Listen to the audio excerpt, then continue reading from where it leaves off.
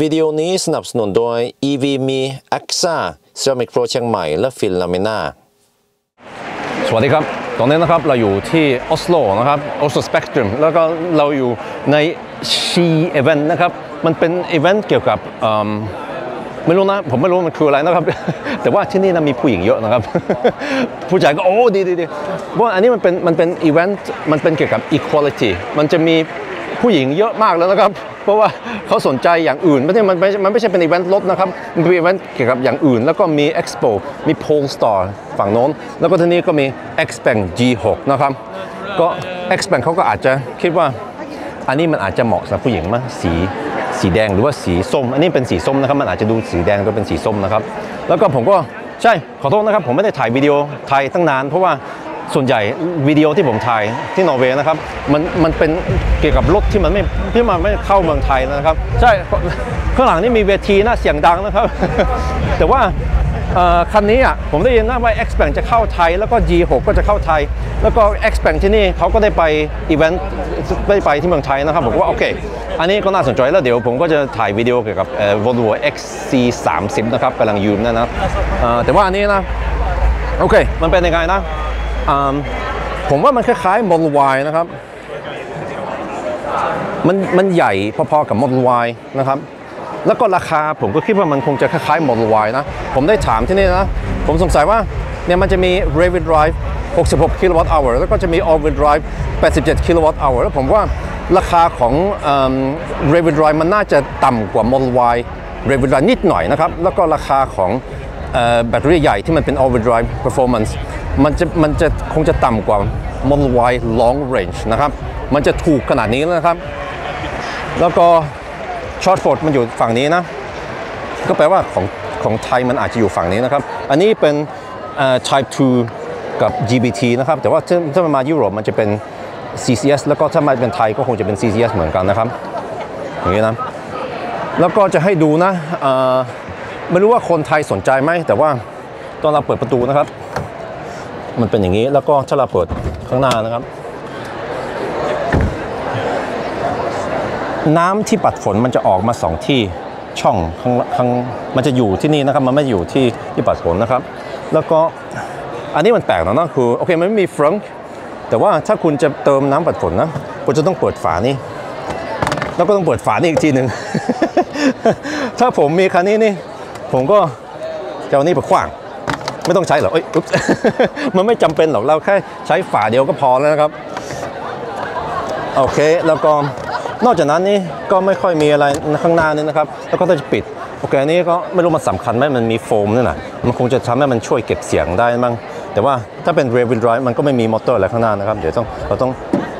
อย่างงี้มั้งโอเค แล้วก็มันก็เป็นไฟสไตล์ของ X Bank นะครับ เคแล้วก็เดี๋ยวไปเช็คข้างหลัง อันนี้นะครับ คันนี้นี่เป็น performance ก็แปลว่ามันเป็น 87 kilowatt hour แบตเตอรี่นะครับ เนี่ย G6 performance นะครับ ถ้าเปิดท้ายหลัง ผมก็ประทับใจนะว่ามันมีที่เยอะนะครับข้างหลังเนี่ยนะครับอขอโทษนะ ในอีเวนต์เนี่ยไฟมันเบามากเลยนะ เพราะว่าเขาก็ทำสไตล์แบบสีดำนะข้างในนี่แล้วก็ไฟเฮ้ยจริงไฟนี่มันเปิดแรงกว่านี้ได้ แต่ว่าเขาไม่ได้เปิดแรงไปเพราะมันจะอาจจะแสบตา ผมก็ต้องเพิ่มไฟนิดหน่อย บางทีมันอาจจะไม่ค่อยเห็นชัดนะครับเป็นยังไงนะ แต่ว่าผมว่าท้ายหลังนี่มีที่เยอะนะครับถ้าเทียบกับ Model Y มันอาจจะน้อยกว่านิดหน่อยนะ แต่ว่าก็ยังกว้างดีนะครับลำโพงอยู่นี่นะครับ อันนี้คงจะเป็นดีโนเดียวสบูฟอยู่ฝั่งนี้ ฝั่งนี้นะครับมี 12 โวลต์แต่ว่าไม่มีที่มัดไม่มีตะขอ ถ้าจะมัดของอะไรหนักๆใส่ข้างหลังนะครับ เหมือนรถเยอรมันหรือว่าส่วนใหญ่รถยุโรปมันจะมีนะที่นี่ไม่มีนะครับ แล้วก็อันนี้ก็มีฝาเปิดได้นะ มีที่ไว้ของอีกนะ แต่ว่าช่องอันนี้มันไม่ค่อยใหญ่ มันไม่ค่อยลึกเท่า Model Y หรือว่าไม่รู้ว่าเป็นคันอื่น แต่ว่ามันจะเป็นทรงอย่างนี้หน่อย หลายคันอื่นนี่มันจะยืดออกไปมากกว่านี้ แต่ว่าอันนี้มันอาจจะเป็นเพราะว่ามันมีมอเตอร์อยู่ข้างหลัง มอเตอร์กับร์เตอร์มันกินที่ข้างหลังนะครับ ก็ต้องเป็นอย่างนี้นะ แต่ว่าผมก็ว่ามันก็น่าจะใส่กล่องกล้วยได้เยอะนะ ถ้าจะเดานะมันอาจจะเป็นสัก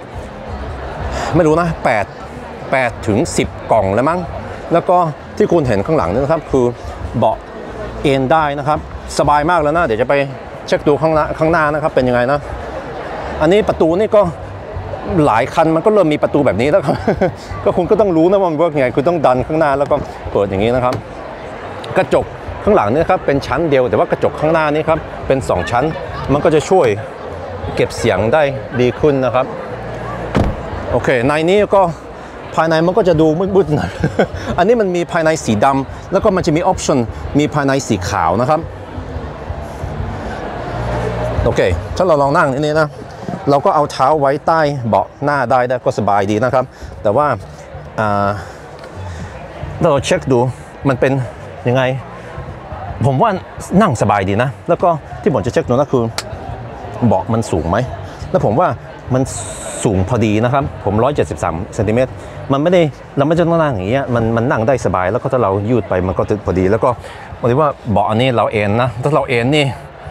โอ้โห สบายมากแล้วนะครับ เหมือนนั่งในหลังลิมูซีนนะครับ แล้วก็มีที่ก็มีที่โอเคนะ แล้วก็ถ้าเราลองเอาขึ้นนะครับ มันก็จะยืดขึ้นไปอย่างนี้นะ แล้วถ้าเราขึ้นนะกระจกเนี่ยนะ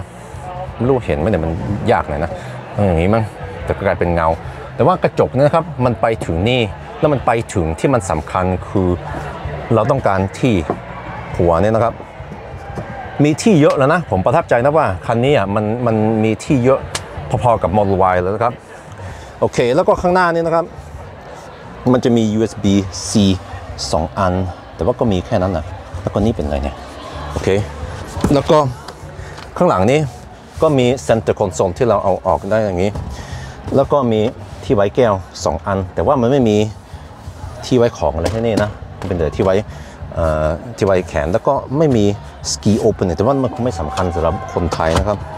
แล้วก็ถ้าจะเปิดประตูนะ มันก็แปลกนะนะมันมีปุ่มนี้นะเรากดนี้เพื่อจะเปิดประตูเป็นแค่นี้นะสมัยนี้นี่รถทุกคันมันจะเป็นมินิม a ลิสติกเหมือนคันนี้นะครับ แต่ว่าผมก็ว่าภายในนี่มันมันรู้สึกพรีเมียมเนี่ยนุ่ม นุ่มหมดเลยนะ รู้สึกว่ามันพรีเมียม ไม่มีอะไรแบบเอ่อพลาสติกแข็งนอกจากที่นี่ แต่ว่าปกติคุณไม่ไปจับที่นี่หรอก แล้วก็ข้างหน้านะครับ ก็เป็นอย่างนี้นะ ก็ขอโทษว่าวิดีโอนี้มันมันลุงลังหน่อยเพราะว่าเราอยู่ในอีเวนต์เราไม่มีโอกาสแบบถ่ายเรียบร้อย เดี๋ยวถ้าเราได้ยืมอีกสัก ไม่รู้ว่าเขาพูดถึงหน้าร้อนอะอีกสัก 3-4 เดือนมั้งเราจะได้ถ่ายละเอียดดีหน่อยนะครับ แต่ก็มีที่เยอะนะเนี่ยอันนี้ก็เหมือนกันปุ่มปุ่มที่จะเปิดประตูแล้วก็มันไม่ค่อยมีที่ปรับอะไรเยอะ เพราะว่าส่วนใหญ่นะ ถ้าคุณจะปรับกระจกข้างๆนะทำในจอพวงมาลัยนี่ปรับที่นี่นะครับ เอาขึ้นลงเข้าออกได้นะครับ แล้วก็เบาะนี่นะ รู้สึกมันไม่ค่อยยังไงเดียมันไม่ค่อยเอ่อสปอร์ตี้มันจะเป็น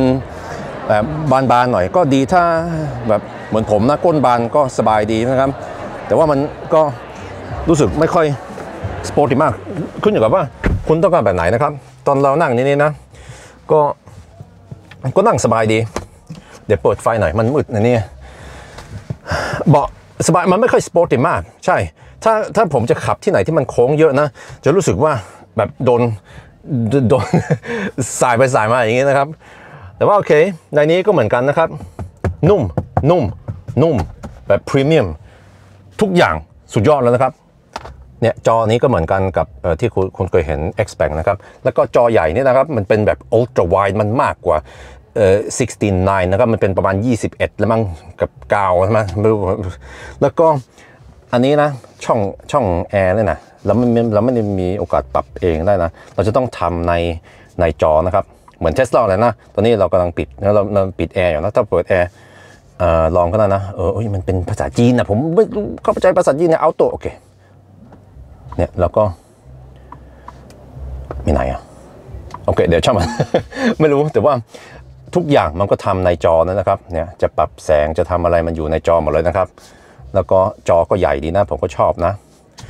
ก็เหมือน X b a n k ที่อื่นที่ผมเคยเห็นนั่นนะแต่ว่าเดี๋ยวเช็คดูนะ ถ้าจะเปิดอันนี้อะมันต้องเปิดในจอเลยครับอ่าไม่นะแต่ว่าเนี่ยจะให้ดูนะที่นี่นะครับ มีที่ชาร์จมือถือ 2 ช่อง ผมแทบจะไม่เคยเห็นนะน่ามีแต่เทสลาที่มี 2 ช่องนะครับเนี่ยชาร์จได้ฝั่งนี้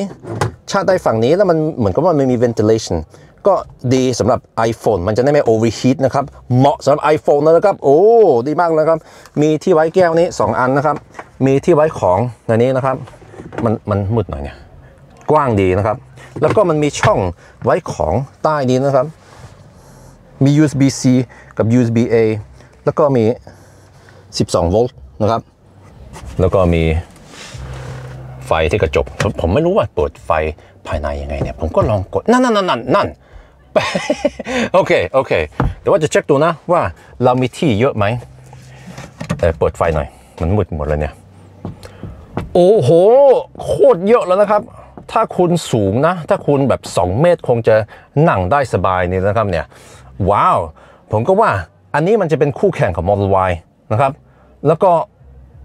บางอย่างเนี่ยนะผมรู้สึกว่ามันดีกว่า Model Y นะครับ แล้วผมยังไม่รู้นะว่ามันจะเก็บเสียงได้ดีแค่ไหน แต่ว่าได้คุยกับคนที่ Xpeng ที่ทำงานที่นี่เขาได้ขับคันนี้นะครับ อันนี้เป็นรถจีนนะครับ ใช่ มันไม่เป็น EU spec แต่ว่ามันก็เป็นรถจีน production car นะครับ เขาบอกว่ามันเก็บเสียงได้ดี แล้วก็เทียบกับ G9 นะครับ ผมได้เทส G9 ที่นอร์เวย์นะครับเราไม่รู้เขาเรียก G9 หรือ G9 แล้วก็ G G9 นะครับ มันเงียบมันมันโคตรดีนะครับ มันดีจนผมเริ่มแบบสงสัยว่ามันมีความหมายอะไรจะจะซื้อรถเบนซ์หรือว่า BM หรือว่าเอ่อเอ่อ Audi e-tron นะครับมันมันได้ความนุ่มความเงียบดีเท่ารถเยอรมันนะนะ G9 แล้วก็เอ่อ คนนั้นนะที่ผมคุยด้วยเขาบอกว่า G6 เนี่ยมันก็จะดีพอๆกับ G9 อาจจะน้อยลงนิดหน่อยแต่ว่าไม่เยอะนะครับ